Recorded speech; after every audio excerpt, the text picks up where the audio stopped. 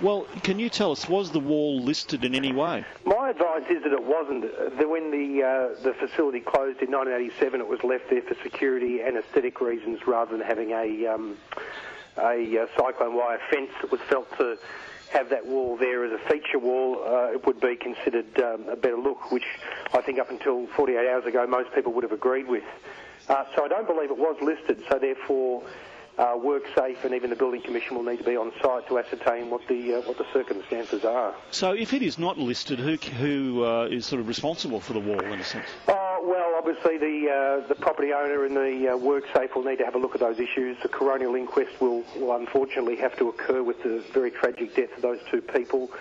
Uh, we obviously wish all our prayers and uh, and uh, and uh, best wishes to the person in hospital who is uh, is obviously we hope will recover as quick as possible.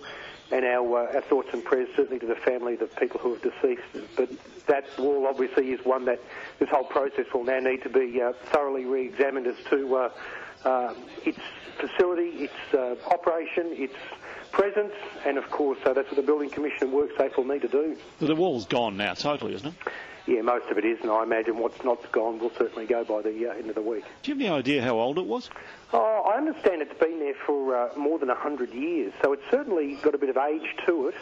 Um, it's part of the original facility, so it was considered to be a feature.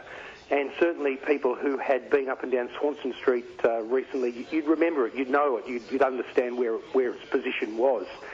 So it had been there for some time. So um, I can understand the reasoning for the for the site owners to want to incorporate it into the design. So uh, as I said, it had been there since 1987 with no incident, and that's the uh, that's the rationale for keeping it. Since when? 1987. 1987, since the facility had closed, I understand it had been there in that state. Oh, really? Just just standing as it was. That's correct. Well, there've probably been several owners in that time then. Yeah, there, has been uh, certainly one or two, that's for sure, and uh, a number of proposals for the site. So as you can imagine, it's one of those just absolutely tragic incidents that uh, that you'd never foresee, and uh, and that's why WorkSafe and indeed a coronial inquest will now need to determine around similar um, uh, feature walls or uh, others that are being kept around town.